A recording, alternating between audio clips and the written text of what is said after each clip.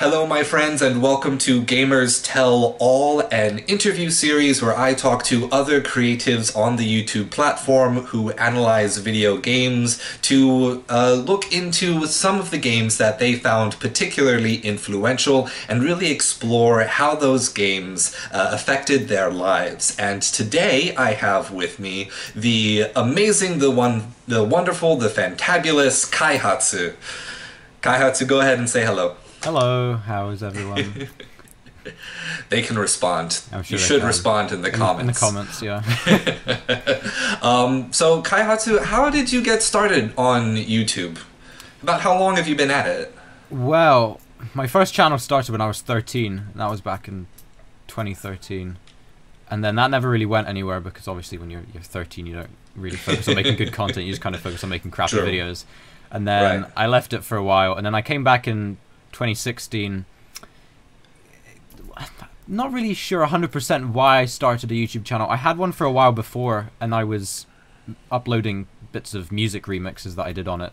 And then I switched to making educational videos about games. And I think one of the the two primary influences for that were the game theorists um, and also another channel called Lockstin, who um, was probably was very influential. He ended up talking a lot about Pokemon and symbolism in Pokemon in mid 2016. And for a while, I had written down a lot of stuff in a notebook because I, I kind of noticed a lot of things in Yeah. Pokemon. And I thought, wait a second, I better talk about this, otherwise I'm not going to have you know anything to say. So then I just kind of started making videos about culture in games. Although I did start out with actually uh, talking about science in games, but then I kind of moved over into culture because that's more of my uh, Mhm. my expertise. So, Right. And I've been doing that Uh, for the past four years, and it's going pretty well. Yeah, culture is really the like one of the big unique points about your channel. Like, um, you speak four languages. How many languages do you speak? yeah. Okay. So a lot of a lot of people ask me this question. So I was born and I grew up in the United Arab Emirates, and I lived there for most of my life. So I spent more time outside of the UK than in the UK. So Right. the UAE is a very, very multicultural society in that, it, like, the history of the Arabian Gulf, it's always been traders coming in and out. And there's a lot of famous uh, Arabian explorers like Ibn Battuta who went to China and Morocco and Spain. So for a long time, there's been a history of people kind of coalescing in that area. And being there kind of exposed me to so many different cultures and so many different people that it was just so interesting. Like, you know, at school, like we always had an international day where everyone would have they'd come with their parents and they'd set up a little stall with their their country and some items from their country and food. And Yeah. my parents being Scottish, I'd always have to dress up in a kilt and serve people haggis. but like just finding out about other people's, it was just really interesting because I think it's strange Yeah. coming back to the UK. A lot of people. Like especially like I've I, there was a, a TV show recently in the UK. Like some people have never met any Asians at all. Like they just get stuck in communities of of, of native English people, and I'm just like I don't know how I could I don't know how anyone could do that. like how could anyone not know? Because there was it, a joke going around on Twitter from someone clipped a bit of the program where they were a mum and their kid were trying to they were inviting some Muslims over and they were arguing over whether some lettuce was halal or not and you know growing up with halal food it just I it just it was extremely strange and amusing but Mm. yeah, um, and that kind of mixture of people kind of eventually I, I came back to being like I, I think it's good to inform people i want to talk about this i want to tell people and you know kind of educate people about uh, culture and i think a good way to do that is through games because if, if you look closely enough you can see culture influences games in a whole matter of ways Oh, left and right. Every, I think it's very common for when a creative is trying to think of a new thing they want to make. It's very common to just immediately jump to researching someone's culture, uh, just because that's where you can get some of the best inspiration, and it's where you can get inspired because there's always something you've not encountered yet that you can draw from.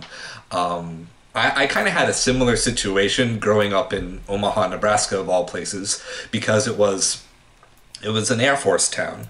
Um, you know, there was an Air Force base, and of course, when Air Force, uh, you know, when our airmen, when our soldiers go across the seas and you know live on bases far and abroad, they often bring back wives with them, and uh, they get to making babies. So Omaha became very multicultural, but at the same time, it was also very isolated. Like there wasn't a lot of cultural overlap. So mm. even though like even though an entire like you know the- an entire community of Japanese, Chinese, Korean, Southeast Asian peoples existed in Omaha, mm.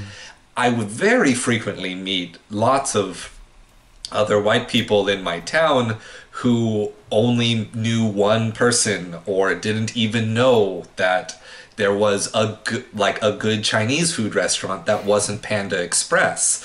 like the it was it was fascinating that everyone was right next door and still did not know anything about each other. Yeah. Um, I think I kind of got away from your question originally, but you were talking about languages. So when I was in the UAE, you have to you have to learn Arabic. That's part of the the government's curriculum, even if you're at an international school. So I was one of the only uh, people at my school that actually liked enjoying uh, learning Arabic. Everyone else didn't really seem to enjoy it that much. Um, but then af- no. after uh, getting into secondary school, I continued with Arabic, and then I took up Spanish, which I took up until I started doing university. Um, and back in 2014 as well, I started learning Japanese, so I'm still doing that. So uh, yeah, that's Yeah. that's yeah. I like learning languages. That's a good chunk. That's a good chunk of them. Um, well, I also speak a little bit of Japanese, so if later on we want to annoy the viewers and Oh. just talk in Japanese without subtitles, sure I think. I would have a, I would have a lot of fun with that. um, but we'll save that for later. Yeah, we'll save that for later. Uh, so, uh, to the issue of the podcast itself, talking about how games affect change in people's lives, uh, what game are we going to be talking about today? Now, I had to think about this a lot actually because I wasn't really sure what I wanted to talk about, but I think in the end it's probably going to be Minecraft. Minecraft. Yes, Minecraft. Um, Okay. Yeah. Okay, dirty, dirty little secret. I have never played Minecraft. Really? I've gone I've gone this long and I've still not played it. I have I had friends who played it in college and I have watched kids play it and I have watched YouTubers play it and I've watched the YouTubers that were actively not playing it play it. I have not played it. I have a big appreciation for what it looks to be doing, but I have no experience of it myself. Yeah, I kind of dipped in and out of it because it, you kind of play it for so long and then you get tired of it. But I think you're, you're missing out. It's, it's a good thing to try at least once. Like, I'm I- not a big fan of. Fortnite, but even I've I've played Fortnite once, you know, and that was kind of when I decided, yeah, this this isn't my thing. But I think it's good to try it even once and just see what it's all about. Um, It's definitely on. It's definitely like a big glaring uh, blank spot on my list. um, so, what um, what is the most significant thing, uh, or the significant thing that uh, you have that Minecraft was able to teach while you played it? I think this is kind of it's not something that the game inherently I don't know that it teaches, but I'm just trying to I'm thinking about this more from a game design perspective because I Uh huh. I that's why I go to, to college for. So I kind of was thinking about it and I just came to the realization one day when playing it, I was just aimlessly walking around in one of the, the many worlds that I ended up making and I just thought like there really there's no point to any of this.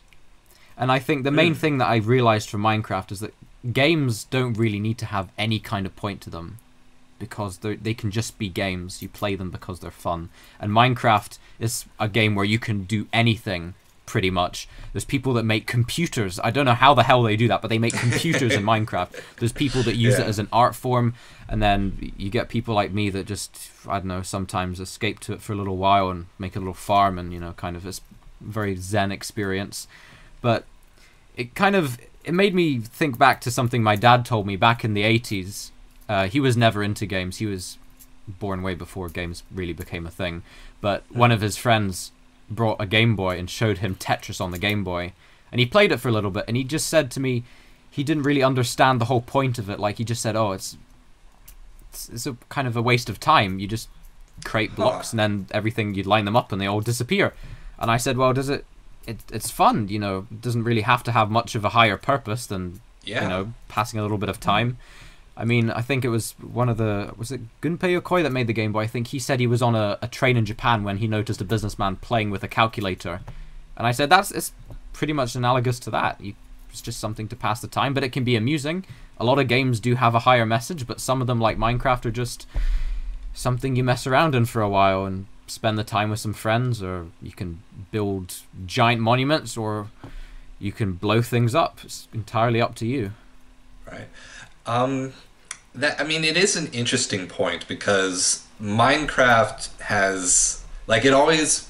When I worked at GameStop, because of course I did, uh, and we would sell Minecraft to people, the line that we were always told to use was, "This is digital Legos. It's just a world where everything is a Lego, and your kids can play with all these blocks and turn them into really cool big things. And that's how we were supposed to sell Minecraft to the parents that came in saying, I've heard about this Minecraft and I What don't know what wants?" is it? uh, and what do I need to buy so that they can play Minecraft?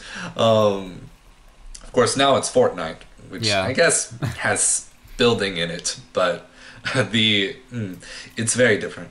The um, well then, because it is analogous to like uh, most games, I would say, uh, before video games became a thing that was seen as a medium for telling new and different ways of engaging with story, and therefore different ways of engaging with meaning.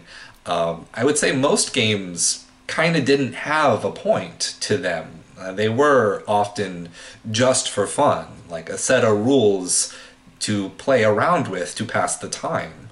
Yeah, Like- that's true. I mean, um, I think, I think on some level these days people get too caught up in like games need to have a message. They need to be, you know, philosophical or political or whatever. And it's true, you can. It's perfectly reasonable. But I think sometimes people forget that the main reason people played games to begin with is because they, you know, they're fun. That's why I, I think that.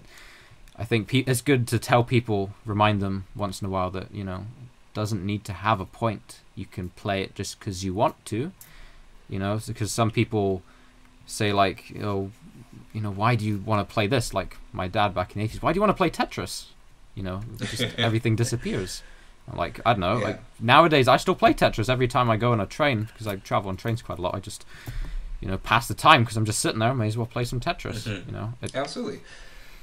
I find it odd that um, that he didn't find Tetris like immediately engaging because Tetris kind of has that reputation, right, of being entertaining, like of it feeling good on like a visceral core level that there's Yeah. just something about how four blocks fit together and then become complete that appeals to the human lizard brain that fires Yeah. off the endorphins.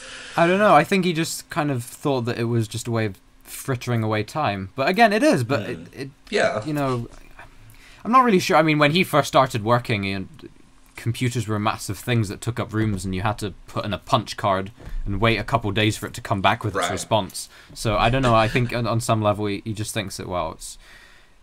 Can, can I make spreadsheets on this Game Boy thing? Because otherwise, there's no point. What, what's the point? Because I think to him, I think it logically, he's a very pragmatic person. I think logically to him, he doesn't really get the point of making something like this, which doesn't have any kind of utility, hmm a point, so to speak. Yeah. Well, at least not a, at least not a pre-designed Yeah. utility or point. Um, and I guess that's really the key fact that makes Minecraft stand out, even among the other um, player creator type games. Uh, you know, we've there's been some copycats like uh, Terraria, I think, Yeah. was the 2D one that came out that people were talking about. Um, and then, of course, most recently, Dreams just came out, and that game It's is a- essentially not a game. It's it's essentially an engine and, and a and a game making tool that is not inherently a game when you get it. They're just some Yeah. games that have already been made. I was joking to someone the other day saying, "Oh, the developers have developed a game that's going to put them out of their own job." uh, except they're at least using it as a. Uh, it's it's a game that is a big commercial for their engine to get That- other yeah. people to buy it. But so some of the things that people sell. do in that is crazy. But again, it's you can see the parallels between that and something like Minecraft. It's yeah. So in in Minecraft, it's because there are well, I mean, there did become a story mode and an end of the game for people to actually pursue and get to. Um, It's but very it's really loose. yeah. Uh, I mean, you know, MatPat on the Game Theorist has made tons of Minecraft lore videos now because of how popular, uh, because of its Mm. That's always the resurgence this last year. Uh, so you know, you gotta you gotta milk that algorithm Yeah, when you do. can. Um, so absolutely no hate for that.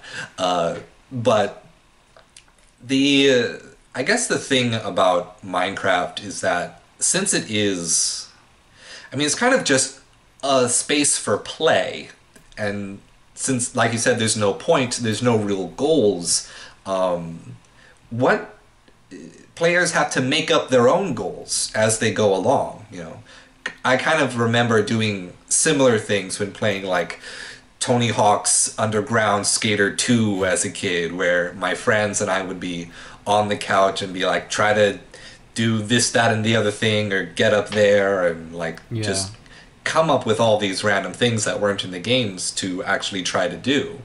And uh, to a certain extent, Minecraft as a space for play feels also like a space where, because there's no point, any player can define their own point for what they actually want to accomplish It, it during any that given freedom setting. to choose what to do, which I think a lot of people. I think there's, a while back, the Game Theorist. It was a long time ago now, probably, but they Mhm. made a video talking about why people play games, and one of those reasons is the the freedom that it gives you to choose what to do, to have that Mhm. control, that agency that people might not necessarily have in many aspects of their own lives. So Right. Minecraft is one of those games that lets you do anything. I mean, especially when when you consider and all the other mods that people make for them. If you so wish, you could like go to the moon or build a massive factory, or you could just live out a simple life in a village. It's, the possibilities are endless. Right. And it's um and it makes it and it's not inconvenient to try to get to those possibilities because all the systems are already in place. yeah.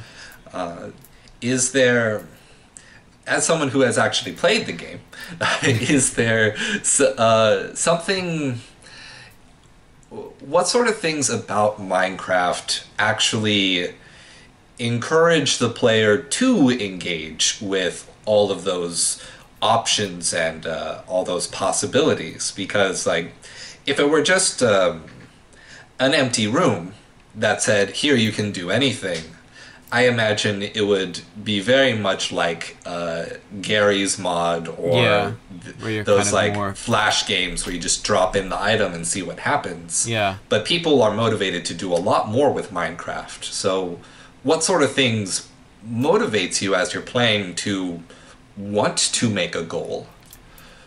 I think, well, thinking back to when I first saw someone play Minecraft, the first thing I remember was just kind of this curiosity. You're plopped into this just blank slate of a world, but you know, there's trees and animals, and you know, you get little directions from the game to you know punch a tree or open your inventory or whatever. Mm-hmm. And then I think to begin with, there isn't very much. You you kind of, I mean, I suppose it depends on how you get introduced to Minecraft. But I was introduced through, through a friend, so you know he would tell me, "Oh, this is this is what you do. You go and punch a tree, and then you build your house, and then you start with that, and then you you have your house, and you think, well, what do I do now? And then you just kind of think, well, if this is my house, you know, and I have all this stuff, what should I do? And then you think, well, I could add a second story. I, at one point, I I built a giant mansion just because I could on top of a hill. There's not really Mm-hmm. a, I can't say there's really. It's not like a lot of games where, like, you know, if you're in a shooter, for example, the the level design is designed in such a way that you're kind of railed into to going a certain way and funneled into going a certain way. With Minecraft, there's a lot more openness, and I think it does. It's like Lego. It depends. Um, it's like one of those Lego sets you would get that's just like all the the bits mixed in together. and you just have to, you know, I think it's it's probably easier when you're a kid, but you just kind of think, oh, I'll just build some some random structure. What a, what do I build today? Um, I actually I think that's the, the whole openness of Minecraft is making me struggle to come up with one definitive thing that you know kind of says. uh, Obviously, there's the goal of getting to the end, but you really don't Right. you you really don't think about that when you're starting out. I think it is just the the first thing is the survival. You know, that's your kind of first goal, and then you kind of branch out from there. I think in a way, you probably in that sense could compare it to. Um, I'm sure there's a name for this. I can't remember off the top of my head, but kind of when you look at a human, you just plop a, a human out in the wild Mhm. expanse of the world. What are the first things they need to survive? And then you have your food, your water, your shelter, and then you kind of go from there, and then you kind of build it up to being able to do other things. And I think Minecraft is kind of like that. What do you need, and then what do you want, and then what could you make?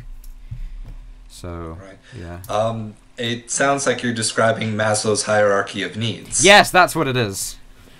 That's what I'm thinking. of. Yay! I have philosophy terminology. Yeah, I, I knew it was something like that. psychology borrows from philosophy. Yeah, all these terms escape me. I probably should have written it down somewhere before I started. Hey, that's my job. Don't worry about it. um, I, I mean, yeah, I guess like I would have gone into this saying that, oh well, the survive, the original mode, the survival mode is more limiting.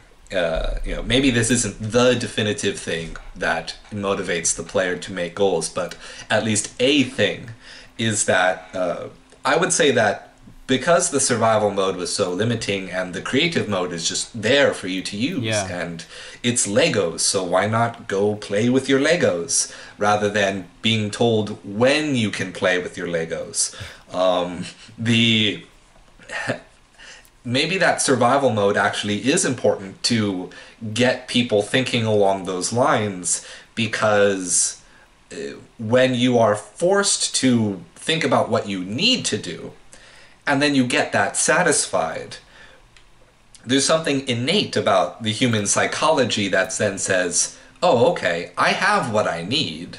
Now i get to do what i want. Yeah, I think Um, the constraints force people to be more uh, kind of creative, and then, like you said at the end, uh, I think the constraints are what leads to that sense of satisfaction. I mean, I enjoy playing in creative a lot, and actually, a lot of the time, I play more creative Minecraft than I do survival.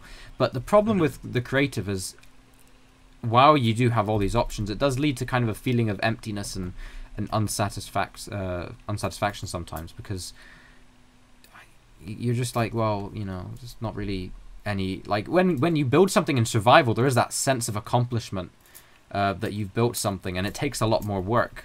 And again, like being in those constraints, just I think makes it feel more rewarding than just being able to place down any block at once. I mean, obviously you can build fantastic structures and creative, but some some I've seen some of the things that people build in survival, and it's it is it's just almost like I suppose you compare to some of the things that people build in real life. It takes forever to build these massive structures, and the amount of work Mhm. that goes into it. You know. and that inherently makes it impressive because you know because you have a frame of reference Yeah. for how much how difficult it was you understand how amazing it is yeah. like If a you were to person build who the same is- thing in creative, then yeah, it would. You'd say, well, you can place whatever blocks you want. You can fly. What? Where's the achievement? but- it took some time but you know, Nothing compared that's to all the it took survival. Yeah. right it's like uh it's like when you try to get a small child like five or six interested in architecture they have no concept of what it takes to build things Yeah. and but you know you get a little older you've had to do a little bit of manual labor and then you realize oh my gosh it took manual labor to build the pyramids You get a huge appreciation. that took a lot yeah i think um but yeah that point of the uh, the constraints the um necessity is the mother of innovation um until you don't have any necessity then it's boredom is the mother of innovation Yeah. convenience um and so like you get all of those all of those motivating factors in their natural order, sort of, uh, so to speak, when you play the game. Um, I know the bit that most intrigued me about uh, Minecraft was when I saw that someone punched the tree and the block disappeared and then the tree was just still there. Yeah. it didn't fall. It just floats, in floats. the air. And it's like, huh. And here's the thing what that really reminded me of was Catherine. Because um, that I don't know if you're familiar with the puzzle game Catherine I've not heard of it before. No. it is kind of infamous. Um, it's an Atlus game, so the same people as Persona, uh, where they just took a break from the Persona series and Shin Megami Tensei and made a puzzle game. Um, and it is a it's a psychosexual horror game where you are in one point uh, learning about uh, your values when it comes to romantic relationships in a compromising scenario, and in another point dealing with a uh, horrible magical curse that no one really understands, but it requires you to climb a tower of blocks. Uh, and the blocks suspend themselves on edges, but they don't need any support from below, which allows you to make all of these different shapes and staircases and different combinations in order to ascend higher. And then the blocks start taking on different properties, so you have to engage with them differently uh, so that they don't kill you specifically. Um, but when I played that game, there was a lot of my downtime, my not playing the game time, where I was just imagining the movement of blocks, blocks, blocks in a um, in almost in like an abstract, non-specific way, like not a productive way, just generally feeling how it moved in my head and somehow feeling that that abstract thinking about it was helping me come up with new solutions to how to keep progressing through the puzzle game. Um, but if you get the chance, play it uh, because it is a trip. It sounds very interesting for sure. It's it is uh, it is one of my two favorite games of all time, and it is weird and it is uh, some somewhat too very raunchy. and like it, it kind of impresses me that it didn't get an A rating. It was very it, it skirted that line. But it also had some controversy because of its um, because of its difficulty, in that it was known as the most difficult game released on the PlayStation 3, and the North America release did not get the hardest difficulty on its original release because they thought the North Americans wouldn't like that. That always seems know, to be because- the case with the North Americans. They always dumb down the yes. yes. There was actually an easy mode created for North America and the hard mode taken away. So the North Americans that actually wanted to play the game were like, no, give me the hard mode.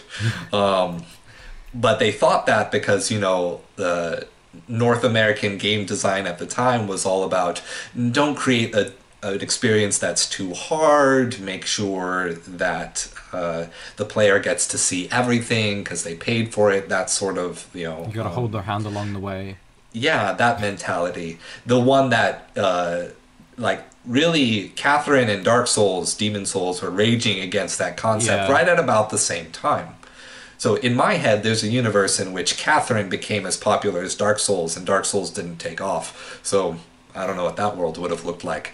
Uh, but um, but yeah, when Minecraft showed me that, it was like, wait, blocks just suspend in air. Physics mean nothing. So I can make what you know. You can do whatever you want with them. Reality is what I make it. Right. it's like, uh, the you know a solipsist stream is what Minecraft is. Um, yeah. So uh, I don't know. Is there is there anything else that the game does to um, to motivate players to start making their own goals in that play space? Hmm. Let me think for a second.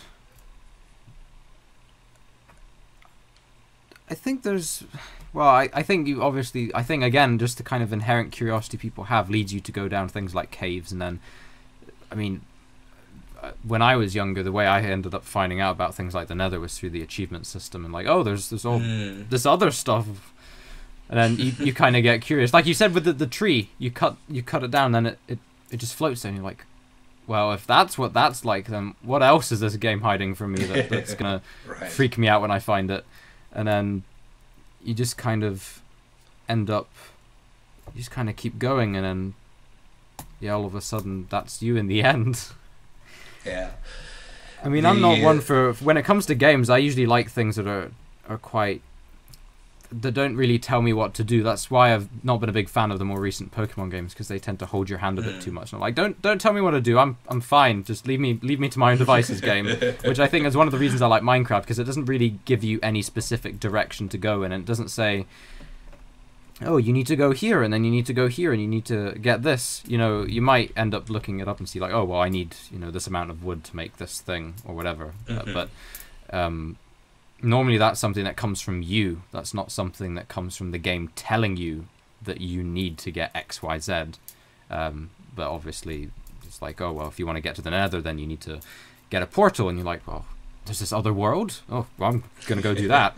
it's not necessarily the game's game saying, oh well, you need to get there so you can do this and this, and this is what we want you to do first. You know, for ages you can just wander around by yourself and build stuff. One of my most earliest worlds in Minecraft was just I built a house and then I, I got lost. So then just I built another whole town just because I was bored. and then I never ended up doing anything else. And you can do that if you want. You can just be happy sitting at square one of the story, or you can go through the whole thing, or you can be Yeah. somewhere in between. Um, Now, did you actually lose where that first house was, or were you able to find it again? well, actually, it's interesting because that was the very first world that I ever made on Minecraft, and that was back in 2011. And at the time, I had a, a crappy little netbook which my dad got me, and it was had an Intel Atom inside it and like one gigabyte of RAM. So I had to keep the setting of the render distance on the lowest setting possible. So it was like a, like a five meter radius. It was just all mist. Oh my so gosh. I ended up getting lost from my house because, in fact, when I, I just before I, I threw the computer out recently to get it recycled, so I, I found this old world because even though I deleted Minecraft, like the the app data Uh-huh. folder is still there. Yeah, So I managed to take it and I I got it on my my proper desktop that I have now, and I actually went and I was looking around and I found the original house that I built. and as it turns out, like it was like a hundred meters away from where I got lost. Because then I wandered into this forest and I thought, I and there's all these little stubs of trees, and I thought, Uh-huh. oh, I remember what happened. And what happened was I got lost and I thought it's dark. I'll use a, a flint and steel to light the ground so I can get some light. I burnt down this entire forest, and then that's when 11 year old me just gave up and like, okay, I'm just gonna go and find somewhere else to to to build a house. And as it turns out, looking on a map, if the the house that I ended up building was right in the center of this map, the original house which I got lost from was just on the corner of this map. So it was like a negligible distance that over 10 years I was not able to find my way back because of this crappy computer. And then That's that's amazing, though. But I, I finally like- found it, and it, it was so surreal to go back in after 10 years and actually Yeah. find it because I, I could finally turn my render distance all the way up. Your rendering limitations created an unintentional game mechanic, a really aggressive fog of war. yeah, essentially, it was, yeah. That's amazing. I don't think I've ever heard a story like that. It's, I think it's things like that which make Minecraft more interesting because Absolutely. Just the it's essentially the player's own stupidity sometimes that leads to all these amusing situations. Right. And in my but case, my so crappy fun, hardware. though. Right. That created an element of difficulty that probably not many people, or maybe no one else, experienced with the game. Yeah, I mean, I doubt many people would want to use the tiny render distance if they, if they had the option to to Right. use something else. However, you could probably suggest that as a mode. I think so. I think actually now I yeah. might try that again and do something like Yeah. that because it was actually quite interesting. Yeah, hardcore survival Minecraft, render distance minimum. Yeah. Uh, I don't know, I'd like to see it. yeah. Well, it's given me an idea now. Well, if I did if I did let's plays more often, that could be something I could do. Hey, I'm looking forward to it now. I, I half expect it from Well, I you. suppose I could probably live stream it at some point. Oh, hey, I'd be there. Yeah. You've said it on the internet. Now you have yeah, to. Do now it. I have it's to. Like a There's probably promise. people in the comments demanding that I do it now. Yeah. So, people from I've your got to, channel yeah. are going to be like, "Kaihatsu, remember when you promised You on that promised random us to do guy's Minecraft." channel?" Yeah. Uh, Oh, it's one thing you should never do on the internet: make promises, because then people keep chasing you up on them. or say anything. Yeah. Even hint that you might do something. Yeah. I don't know that too well. I keep making plans for my channel that end up getting delayed. Uh, well, I think we're pretty much wrapping up here. Um, uh, じゃあ、これから日本語を喋れますかうん、あの、うーん、日本語で、あうん、多分、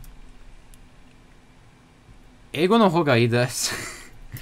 えー、uh, そんなに久しぶりですか It's like, you know what, like my brain at the moment, like I'm so tired. Don't worry about it. I'm Uh, just I'm just teasing. Well, Um, I get, you know, my problem is, tease is my I like speaking in foreign languages, but I get really shy.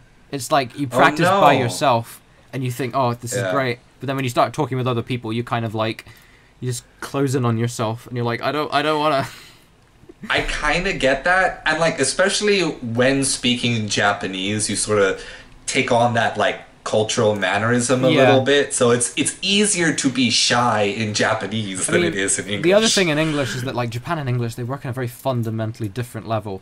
So I think Uh-huh. sometimes I have trouble. You have trouble. It, it's. I mean, I, I've been doing it for six years, but I still, a lot of the time, think of something in English and then try and translate it over, which is something Mhm. that I don't. I I don't so much have that issue in Arabic or Spanish because I've been doing them for longer, and Spanish is easier. It gets but- easier when you just start thinking in that language as Yeah. like an expanded. You have just your own language, and it happens to be expansive enough to include the other one. Yeah. Um, the uh, yeah, I don't know. There's uh, when I was in Japan when I studied abroad, it uh, I didn't speak very much Japanese at all. Pretty much everyone around me, including the Japanese speak- people, uh, spoke perfect English because it was an English-speaking university, an international university. Um, but when I got back from Japan, suddenly I felt a lot more comfortable speaking more extended Japanese with Japanese speakers in the United States. yeah. Uh, and I, I don't know, there's something curious about uh, the the shifting level of comfortability with speaking the other languages you know. Yeah. Yeah. That's true. It's very fluid. Yeah. もっと日本語を練習したい。でも、自信がない。それは問題ですね。はいあの、まあ、元アニメを見て、それ、それから自信を持って。うん、アニメが好きじゃないです。えー、まさか、それはありえないだろあう。何を言ってんだめ。あ。え？日本の文化について、えー読むのが好きです。読むの方あそれは難しいですけどまあ結構結構本を買いましたけど全然読めないんですまだうん。Yeah, that's always the issue, isn't it? All these yeah, books. I think that's enough. I think, yeah, that's, I think enough that's teasing. Enough. That's enough. I think the I think the audience is like, stop it. Jubin Nihongo. Enough. All right. Well, I think that makes us good. We're coming up past the forty-minute mark. Oh wow. Um, so. let me uh, let me go ahead and give you a big old fuzzy heartfelt thank you to you Daniel um, for coming on um, if you could uh, to all of the people from on my channel uh, suggest a video on your channel that you think they'd like Oh wow. Um. plug, plug. Yeah, I'm trying to think. I'm actually. I'm just gonna have a look at my channel now on YouTube because I'm. I'm not really sure. It, it, it depends. Mm, well, the most recent one I did, I did a Team Trees video. That's the last thing I did. But in terms of the video I want people to watch the most, I actually did a video. I've started a video series a while back about which Pokemon could be considered kosher according to Judaism. and wait wait wait wait to eat uh, yeah, to eat, or to it depends to eat to use. because there's a couple passages in the in the Torah that tell you that you're not supposed to Okay. touch unclean animals either. So it was kind of a Right, combination because of there both. because there are there are kosher rules that aren't about eating. I know this. Um, Yeah. Um, All right, all right. But it was- I had I- to clarify. Yeah, there's it, it's something that I need to continue, but it started with it's I called it Koshermon because I thought I felt very clever when I came up with that name. But the first one was based on um, what Pokemon Koshermon's a Digimon, to be fair. what Pokemon could be considered kosher to eat, and then the second episode I did was about uh, if you followed the traditional Orthodox Shabbat rules on the Saturday, uh, what would you be allowed to do in a Pokemon game? So there'd be a limit on how far you could walk, you know, what things you could use because you're not supposed to use. There's an argument about whether you're allowed to use electrical devices or not. So that would mean no Pokeballs, no Pokedex, and it doesn't matter Oh, anyways because no. you wouldn't be allowed to catch Pokemon because you're not allowed to trap animals on the Sabbath. So there's all that stuff. didn't didn't the Johto region games include those Pokeballs that you made out of nuts? Yeah, the So are those natural? Are they not electronic? That is a- it, that's is a it nature question. magic? Is that a nature magic Pokeball? I don't know. I, I'm not really sure because I don't think they ever elaborated on the process of how the Pokeball was made, but presumably it had some kind of all. mechanical, electrical part. But then, Gosh, and now I'm thinking about that berry juice that Shuckle makes when you give him a berry. yeah, it's a series that I want to continue because eventually, obviously, growing up in the Middle East, I want to talk more about Islam in relation to Pokemon because there's a lot of interesting things to unpack there. Not only just in a Yeah, similar way to how I did with the the dietary rules, but also in the real world with how Pokemon was received in the Middle East. But that video series didn't do so well, and I suspect it was because you talk about Oh, no. religion, and then YouTubers like banned. So no, I, I'd like more people too to watch it. controversial. Yeah, that's the thing. That's I think it kind of affected my video views a bit. So I, that's why I want more people to see it because, you know, it's one of the things I put more work into, and I like more people to to see if they enjoyed it. So, yeah, I uh all right, well, I'll definitely go ahead and put a link to that video at the end of this one. Um the uh, Koshermon. yeah. I suppose Um, more generally though, you know, everyone knows me for culture bits, so that's another thing I would recommend. If you like learning about culture in games, then you can watch Culture Bits. That's the one I've done the most videos on, and it's the one that's received the most views on my channel. Uh, like what, the two hundred odd thousand views was one of my videos had Wow. last, after last Yeah. summer. It was when I did about Mario Maker, but yeah. So Cool. if that's the kind of thing you're Alright. into, then you can check out my channel. I'm sure they're into it. Um, the, gosh, wow, that is a that is a trip to think about. Uh, I'll have to go back and see see what you said. Um, I lost my train of thought because of that. Well, I think we were kind Uh, of wrapping up, weren't we? That's true. Um, so, anyways, uh, we'll just say thanks to all the people. Thank you again. Thank you for Uh, having me. And lovely to come on and have this chat. Absolutely awesome. Um, and if we get a chance in the future, uh, especially if I can in, uh, invade your uh, Yeah. absolutely promised Minecraft hard mode uh, uh, live stream, Yeah, uh, I'll definitely be there for that. I mean, Um, given the current events, I might be holed up in my house anyways for a, a couple weeks, so there's always the chance Yeah. that I'll get bored and decide to live stream. But I mean, I have a lot of stuff planned to talk about philosophy on my channel. I'm sure you can find a way to to get you involved in Hey. that as well at some point. If you want to bring me on, bring me on. I'm Oh. completely gung ho. Yeah, once I plan it, that's another thing that I'll start promising to people and then I'll forget about. So we'll just have to see how things go. Awesome. All right. Well, uh, then to all the viewers, thank you so much for sticking around till the end. Uh, check out Kaihatsu's channel, link in the description and in the end cards. And as always, stay true.